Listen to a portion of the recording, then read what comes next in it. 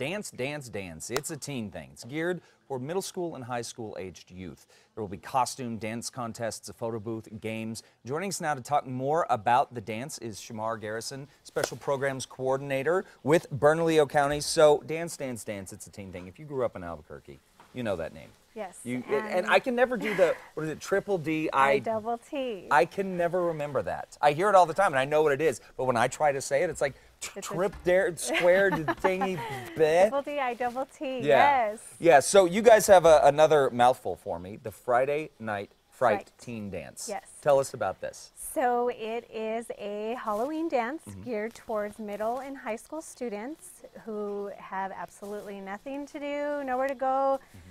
Teens still like to dress up.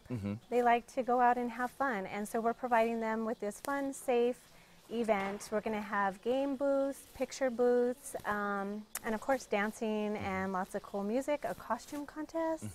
And the first 50 teens that walk through the door get a free door prize. Oh, really? Yeah. Oh, okay, that's really and cool. And it's five dollars. It's Oh, that's not very bad. reasonable, and you know they can come for two hours and be safe Yeah. and not on the streets. Yeah, exactly. Dance and have a good time. Yes. Now, as I said, dance, dance, dance. It's a teen thing. It got, it was a staple, you know, when, when I was growing up in Albuquerque. You guys are trying to bring that that back to to the, the I guess the next generation, right? Our kids. They- Exactly, when yeah, we were teens. exactly. Now they're teens. Um, you know, people who used to attend the events now have teens themselves, and so when we add the dance, dance, dance, it's a teen thing logo or name.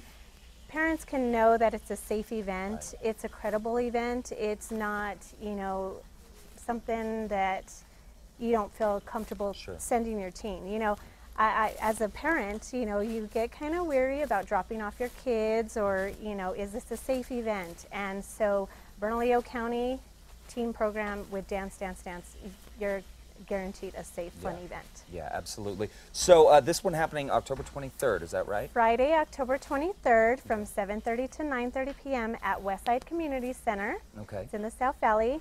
Um, parents can drop off and pick up their their teens, Okay. and it's it's going to be fun. And I'm playing DJ that night. Oh, you so- are. Oh, yeah, okay. yeah. Fantastic. All right. That well, that'll be a lot of fun. And and I just want to just put out there before we get out of this, this isn't the this isn't the last that we're going to hear a dance dance dance. We're going to see a revival of Hopefully not. Um, you know, Bernalillo County did provide this service for teens for over 16 years, and so, yeah, we we want to we want to provide more activities and more dances, more events for teens because you there's not much. Yeah, yeah, absolutely. Good on you for doing that, Shamar. Anyway, for more information on the dance and what Bernalillo County, County is doing for our kiddos, head over to kasa.com. We'll have all the links there. Well, still to come.